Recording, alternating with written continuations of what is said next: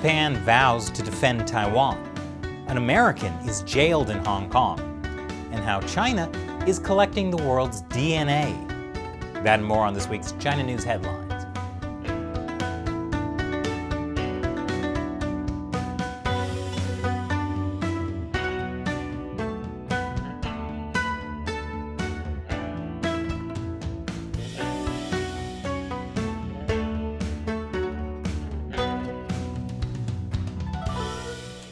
Welcome to China Uncensored. I'm Chris Chappell.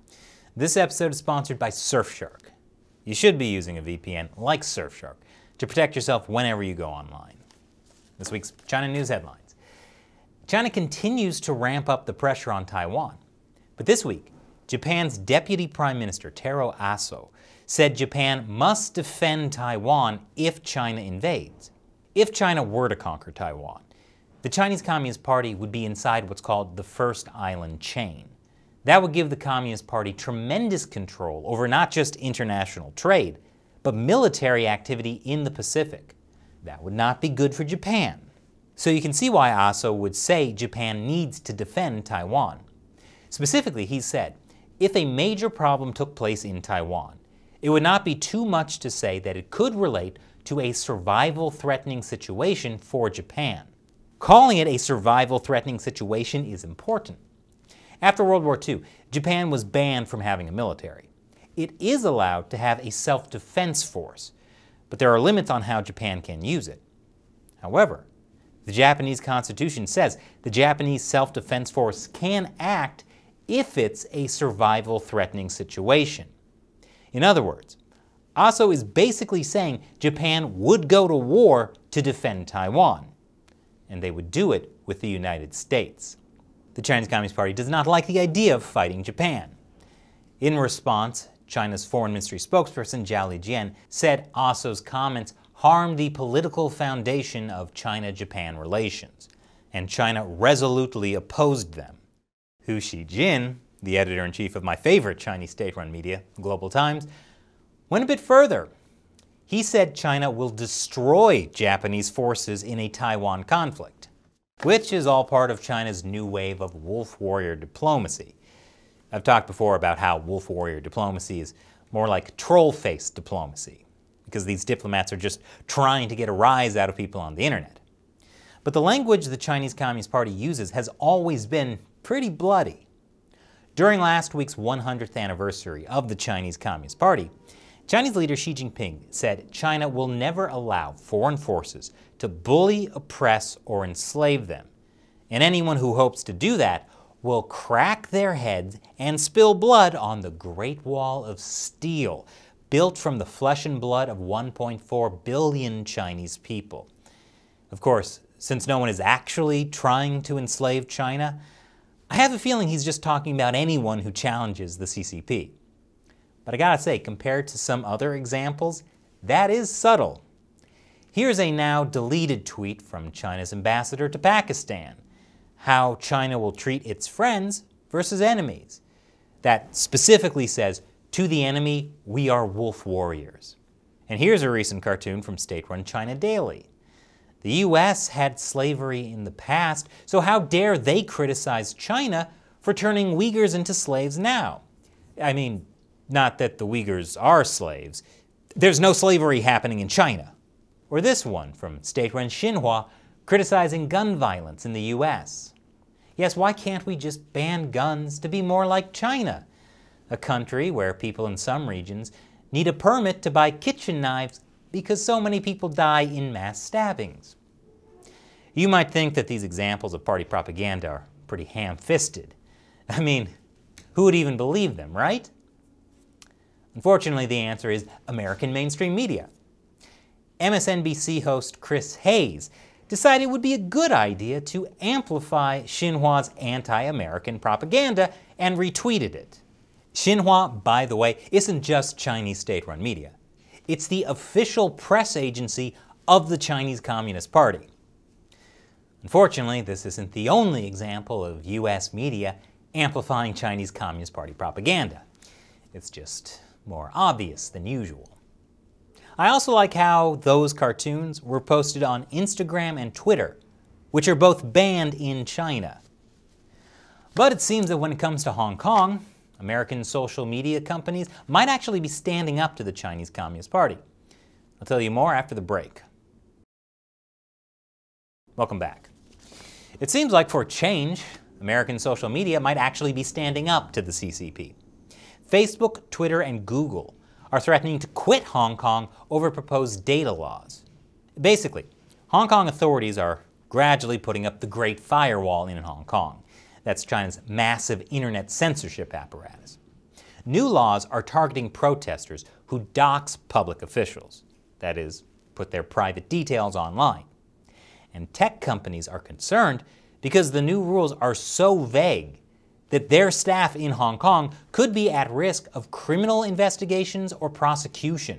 The companies also stated the proposed laws are so vague they could stop free expression and criminalize even innocent acts of sharing information online, which is, of course, what Chinese laws are designed to do. Communist laws are vague on purpose, so the authorities can use them for whatever they want. And you never know where the line is.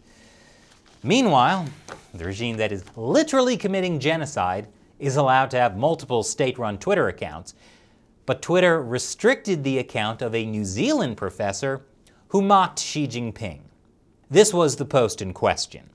Clearly a hateful post that must bring retribution. After lots of public backlash, her account was restored. So good news! Twitter won't censor you on behalf of the Chinese Communist Party as long as several media outlets write stories about it that embarrass Twitter. But another sign we should all be very worried about Hong Kong an American lawyer has been sentenced to prison there. Basically, what happened was in 2019, the lawyer, Samuel Bickett, saw someone beating up a teenager, so he fought the guy off. Now, at the time, the guy doing the beating was caught on camera, repeatedly saying he wasn't a police officer. Well, it turns out he was a police officer. And now Bickett is going to prison for assaulting a police officer. Also in Hong Kong, on July 1st, a man stabbed a random police officer and then committed suicide. The officer suffered a punctured lung but is recovering. The attacker, a 50 year old man, stabbed himself in the heart immediately after the attack and died shortly afterwards. Sources said officers found a suicide note in a USB flash drive found on him, which explained his actions.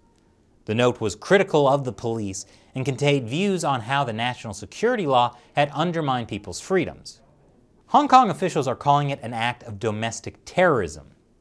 That's right, one guy randomly stabbing a police officer but not targeting civilians was a terrorist. This can only mean one thing Crackdowns are going to get worse in Hong Kong, and they'll use the excuse of fighting terrorism. The Chinese regime is really good at that because it's the exact same thing they did in Xinjiang to the Uyghurs. Now is a good time to leave Hong Kong while you still can. But in some good U.S.-China news, Secretary of State Antony Blinken met with survivors of Uyghur concentration camps. This is a tradition carried on from similar meetings under former Secretary of State Mike Pompeo. Let's keep that tradition going. And here's another sign of just how much the Chinese Communist Party controls the science. Ian Lipkin is an expert on viruses and has worked with Chinese scientists for almost 20 years, since the SARS outbreak in 2003. He's also a professor at Columbia University. Last May, Lipkin forwarded an email to Dr. Anthony Fauci that he received from Chen Zhu, the vice chairperson of the Standing Committee of the National People's Congress. That email is completely redacted. Chen was responding to an email from Lipkin asking some questions about how the coronavirus got from bats to humans. Most of that email is also redacted. Lipkin and Chen had previously worked together during the 2003 SARS outbreak. When he forwarded the email from Chen to Fauci, Lipkin said, we deeply appreciate your efforts in steering and messaging. It's not clear what messaging Lipkin is referring to because that part of the email was also redacted. However, Lipkin and Chen were discussing how the coronavirus got from bats to humans. And the day before this email, Fauci had done an interview with National Geographic where he dismissed the idea the coronavirus was made in a Chinese lab. So Lipkin could have been thanking Fauci for saying the coronavirus came from nature and not a lab. Again, we don't know for sure because the emails have been redacted. Lipkin went to China at the start of the coronavirus outbreak last year. But when he came back, he became one of the most outspoken critics of the lab leak hypothesis. And he went on Chinese state run media to call that hypothesis a conspiracy theory. He told China Central Television, all the evidence that we've seen thus far indicates that this virus came from wildlife, and there is no evidence that there was any conspiracy or sloppiness or anything that led to anything coming out of the Institute for Virology in Wuhan. Lipkin and other scientists also published this opinion piece in Nature Medicine in March 2020, saying the coronavirus definitely didn't leak from a lab, which was repeatedly used by the media to debunk the lab leak hypothesis. FYI, Nature Medicine's parent company gets funding from the Chinese Communist Party. And guess who else has close ties with the CCP? Lipkin. Several Chinese biomedicine institutions were established with contributions from Lipkin. Lipkin is also the director of Columbia University's Center for Infection and Immunity, which teamed up with the Chinese CDC to create a joint pathogen research laboratory in China.